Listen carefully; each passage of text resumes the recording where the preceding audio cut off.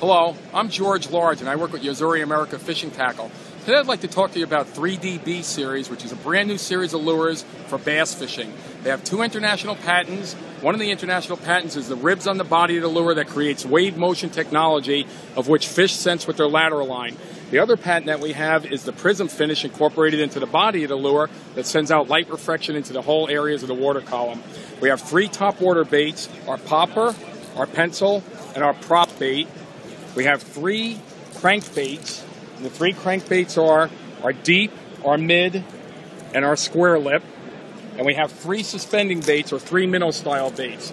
Our suspending shad, our suspending flat sided jerk bait, and our floating minnow, which also has flat sides. The flat sides incorporate a large surface area and gives better responsive action for the fish out there. 3DB is offered in six color patterns and nine different styles. Try them today.